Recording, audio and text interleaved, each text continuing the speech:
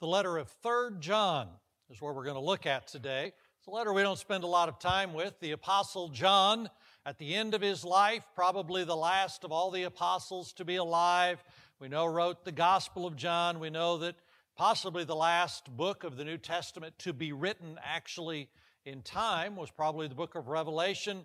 And somewhere during his ministry, he writes three letters. First John, we're pretty familiar with. Second and third John are a little shorter. Uh, third John is probably the shortest book in the New Testament. But in it, there's an interesting little verse. And as we've been talking about uh, gospel conversations, having gospel conversations with friends, with neighbors, with other individuals, obviously, one of those places and one of the kinds of conversations we need to have are gospel conversations with children. That if God has blessed children into your life in some way, shape, or form, and you have influence over them, then you have both the responsibility and the opportunity to communicate something of the gospel with those children. Uh, John writes these words in the fourth verse I have no greater joy than to hear that my children are walking in the truth. Now, John is probably not talking about biological children. We don't know whether he was married necessarily. Tradition says he may have been. But he's talking as a father, the father of the early church. He's talking as one of those revered men. And in all of his letters, 1st and 2nd John, he talks about the Christians that he writes to and he calls them children, my beloved, my children. But this idea that John, looking on his children, these children, he says, they're just a joy.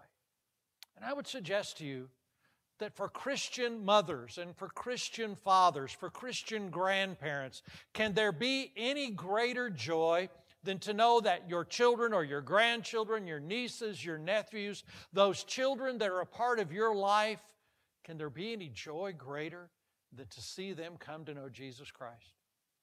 And then to see them walk and grow in that faith and to walk in that truth. That's a joy. There is a joy in heaven when one person repents and comes to Christ. And with children, it's very significant. So let me just suggest a couple of things to you that we can do. But first of all, before we talk about the things you and I can do to impact those children in our lives that we know, let me suggest to you some things about the nature of the salvation that we have that are important. For instance, there is for adults who have children in their lives no greater responsibility that I can imagine than to encourage those children toward Jesus Christ. That phrase, encourage anyone towards Christ. W.A. Criswell used that for many years, just as evangelism, encouraging your friends and neighbors toward Jesus. But in particular, when children are a part of your life, to encourage those children toward Jesus. You understand there's a biblical principle that with every blessing of God comes a responsibility, a stewardship of that blessing. God gives you a spiritual gift, He expects you to use it. God blesses you financially, He expects you to be responsible. If God gives you a blessing, there's a responsibility. And the greater the blessing, the greater the responsibility. Is there any greater blessing than the gift of a child? An eternal soul. And I will tell you, it may be the most significant blessed responsibility that we have to encourage them toward Jesus. It's a tremendous one. In fact, it's underscored by almost a warning. You remember that Jesus, one of the harshest statements he makes, almost as a warning, he says, of one particular activity, it'd be better if you had a millstone, one of those huge stones that they used to grind grain years ago. It'd be better if you had one of those tied around your neck and be thrown into the sea than to offend a little one. Or more specifically, the idea is that you would somehow keep a little one from coming to Jesus. That's a significant statement.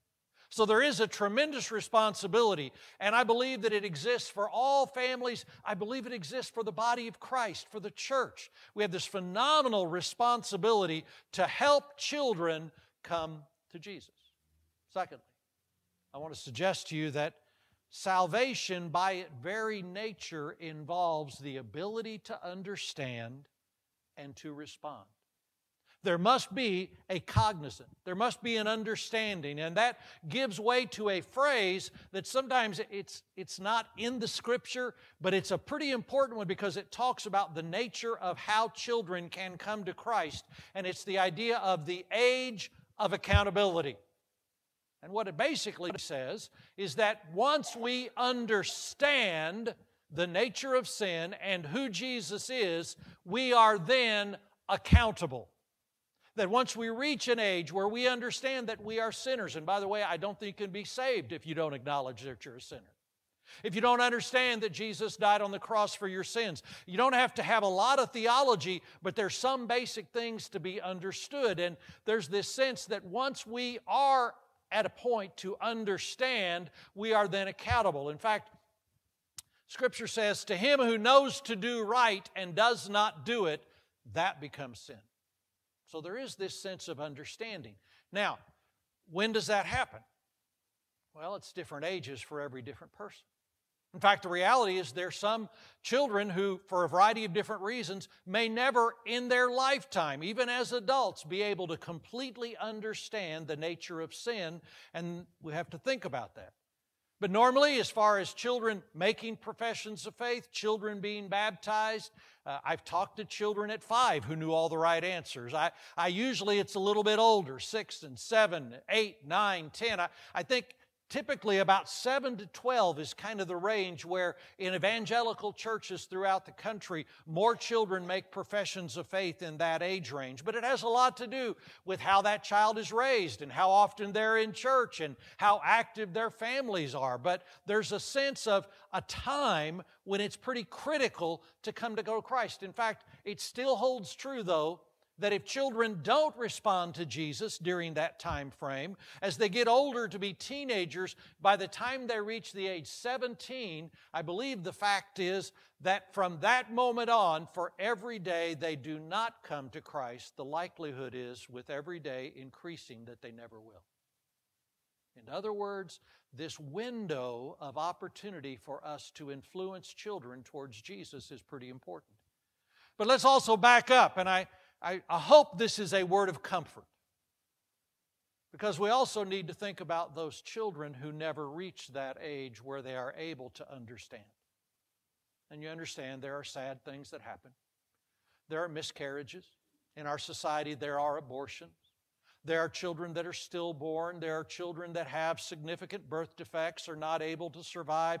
There are tragic accidents, and it's almost the most tragic thing I know to go and do a funeral for a small child.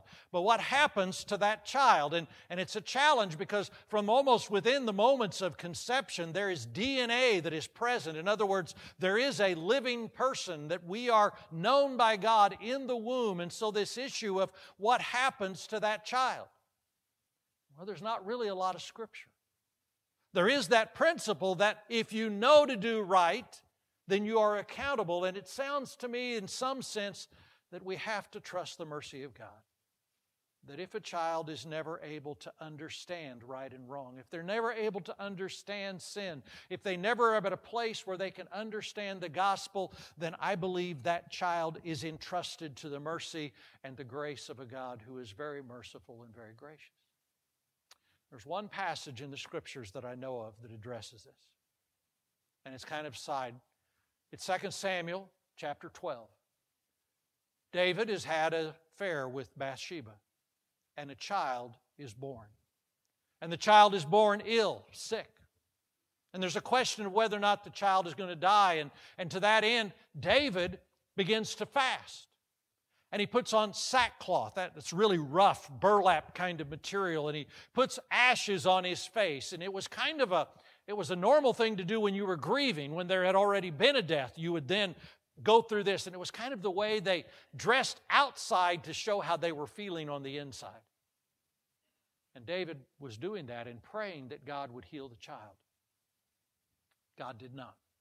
And not every prayer is answered. The child dies. And when David hears that the child has died, he, he changes clothes. And he washes his face and he calls for food and the, the, the, uh, the servants are all kind of confused. They're saying well we don't understand. We, we thought now was when you would start to grieve. And david said this while the child was alive, I could pray that God might be merciful and spare him. Now that he has died, all I can do is go to him. And what that means is, in David's mind, the child who died was in the presence of God. The child who died had gone through the valley of the shadow of death and was in his presence. And David understood that when he died, he would go to be with him. And, and that's my con- personal conviction that those children, and, and again, in the midst of a sad reality, that is, I think, one of the great moments of comfort that those children are in the presence of God. Now, I also get this asked to me I, what, what are they like in heaven? And when David got there, how would he experience it? And there's really no inference in the Bible that really addresses that. I will offer this as my personal thought. The reason that we will be in heaven, our goal, our purpose, is to praise and glorify God forever. So if those children are in heaven, I think while they're there, however God chooses to do it, they are there to praise and glorify God. And it, could God take the DNA and turn it into the person that they might have been, or could have been, or should have been, that one who they were conceived and they had knowledge of God from the womb, and God takes them there? I don't know about that. I don't understand it, but I do know that there is a sense that when children are coming to that age to make a decision, we need to be encouraging them toward Jesus. The third thing I want to say before we talk about the specifics are children do not need to become like adults to be believers. Adults need to become what? Like children.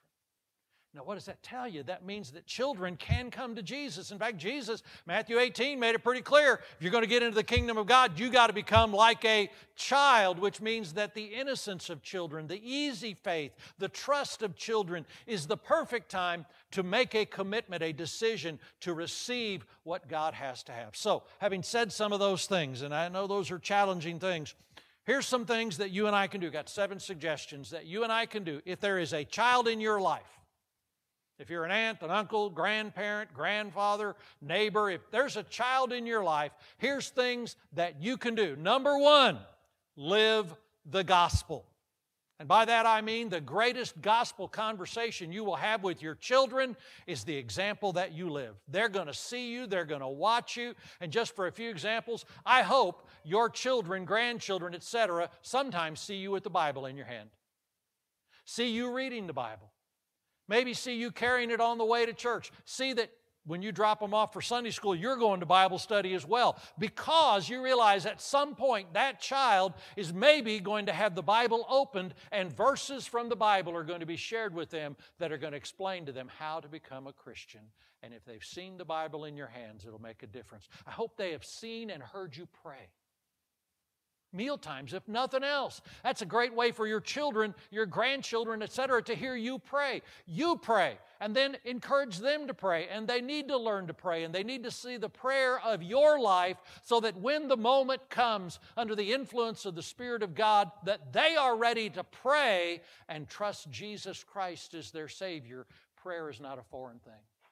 They ought to see you go to church you ought to bring them to church. In fact, it ought to be a regular thing. It ought to be natural. And, and there ought to be a sense that they ought to see you worship. And in our church, we do child care. We do it through up about age five. And then after they get to first grade, we have children come into the worship service. We had a bunch of kids in the first service. And I will tell you that every once in a while people come up and they'll say, Well, why don't we do children's church? I mean, let them hang around for a while, and then when the sermon comes, because that's the really boring time, I know. Then we take the kids out. Of course, some of you'd want to go with them, I, I know.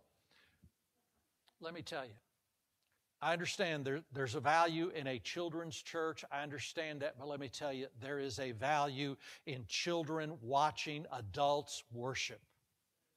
There's a value in children looking up at their dad, and I've seen this in our own services where a child looks up at their mom or their dad as they're singing. I will tell you, there is a gospel being lived out. And as they watch you, even though they're not maybe paying attention, they're watching you pay attention. They're watching you open the Bible, and they're watching you bow your head during the invitation.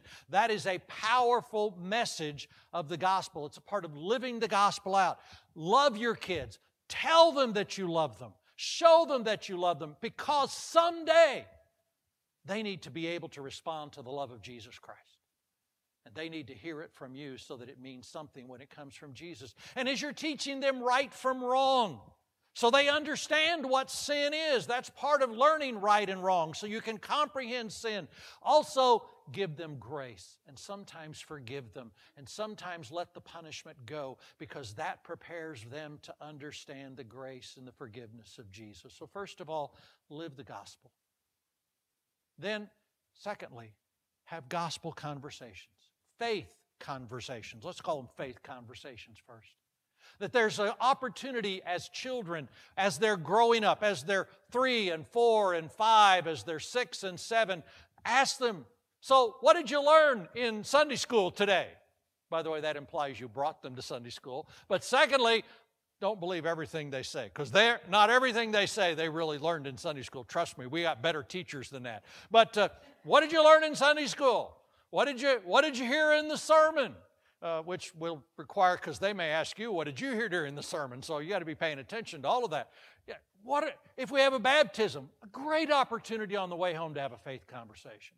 Communion. I, I mean, I stand up here all the time when we do communion and to watch a child who is not yet a Christian see their parents take the bread and take the cup and then pass the tray on to the next person. And that kid's watching that. I mean, they're just, I guarantee you, you can have a faith conversation about what that means and why do we do that and why can I not do it yet?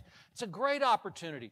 Faith conversations. Faith conversations about Christmas and about Easter. Yeah, Santa Claus, the Easter Bunny, but by the way, here's what these really mean. And you have these opportunity for faith conversations to have them when things are going on at school, when they're afraid, in the middle of a thunderstorm. Is that not a great time to talk about Jesus loving you and wanting to take care of you? Faith conversations. And anyone in any family with any child can have a faith conversation.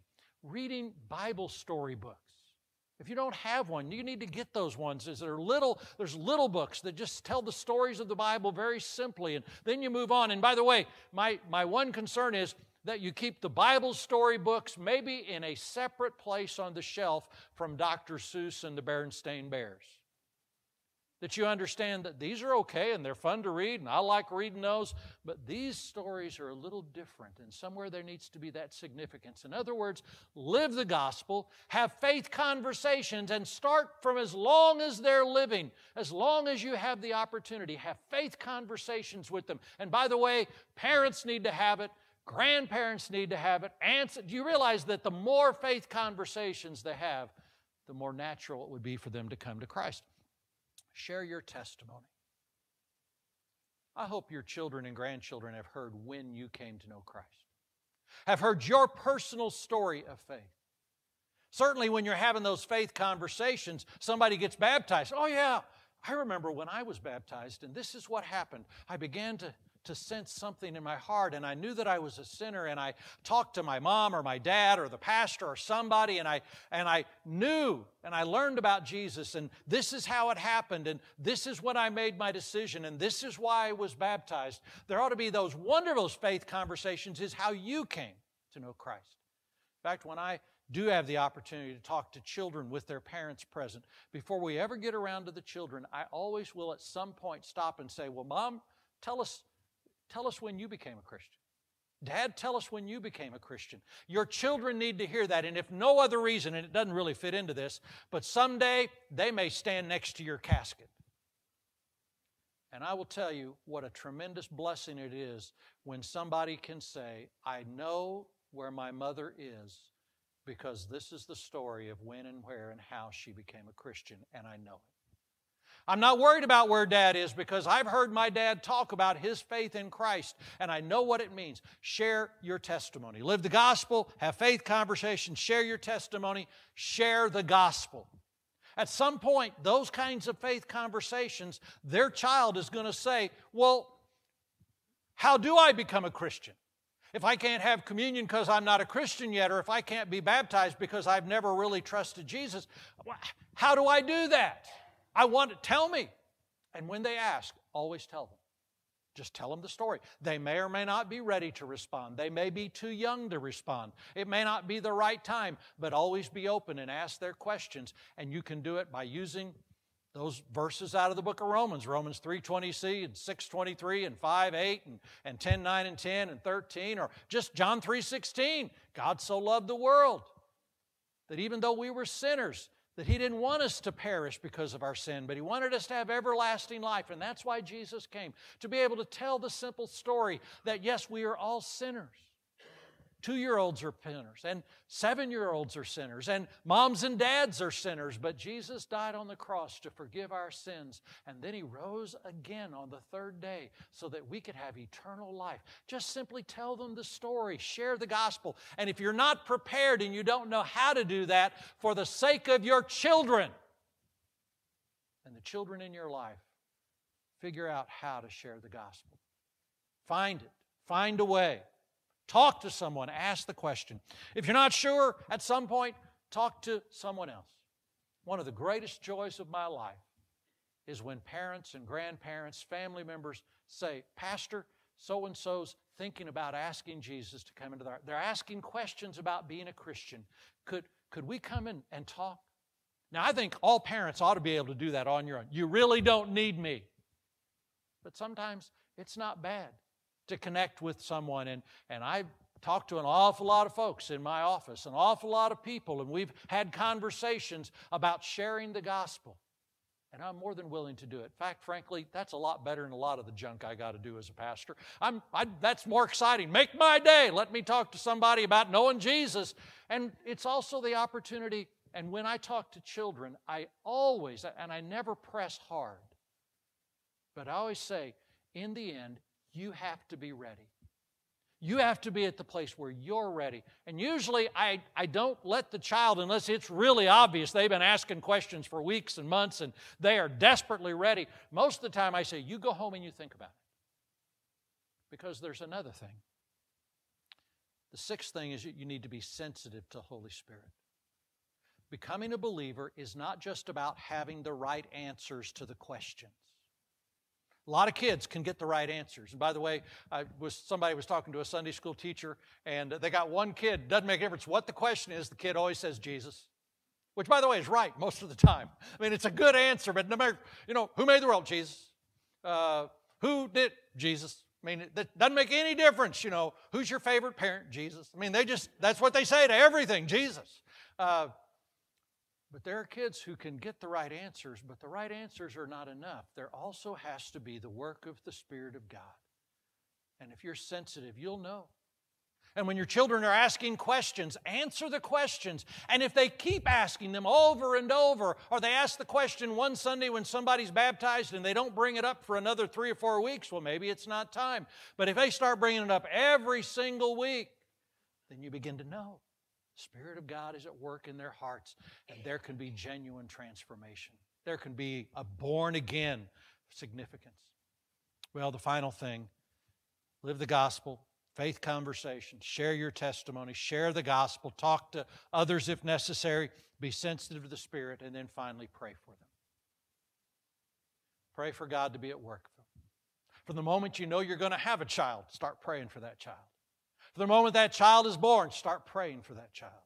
If they're grandkids or nieces or nephews or whoever it is, pray for them by name. Pray that God is going to be at work in their life. Pray for their parents. Pray for the other people who are going to be involved in their life. Pray for opportunities to encourage them toward Jesus. Pray for the church. Pray for the church that we will be a church that supports and encourages children, that does ministries for children. Because I knew this was the sermon, I made a little detour from my office to the third floor. And by the way, I also walked down the preschool hallway and I prayed for all the preschool workers and the child care workers so that from the moment a child shows up in this church, they know the love of others so they can know the love of Jesus. And then, as they're working their way down that preschool hallway and they're learning that God is love and they're learning that Jesus died on the cross and that Jesus rose again, and they, they go down and then they get up to first and second grade and third and fourth and fifth and sixth, which, by the way, is where most of that real action happens, where they begin to reach the age of accountability and they understand. And so I prayed for first and second grade and third and fourth grade and prayed for fifth and sixth grade teachers and I prayed for what goes on up there because that's powerful stuff and Awana teachers and child care workers and vacation Bible school and all of the ministries we do with children. But particularly, pray for your own children and pray for them by name. And I will tell you that I am often reminded of some adult parents and grandparents whose children maybe never made a profession of faith, and they're still praying for them. They're teenagers, they're in college, they're out of college on their own, and their parents are still praying for them because there is no greater joy than to know that your children are walking in the truth. Now, today, we're going to have our invitation hymn, and obviously, it's an invitation and encouragement for you to be thinking about the children in your life, the children that you love, the children that you care about. And to some extent, if they're in your life, then there is a responsibility for us to encourage them toward Jesus in everything we do. Let's stand and let's sing. If you need to make some response, this is a good time to do that as well.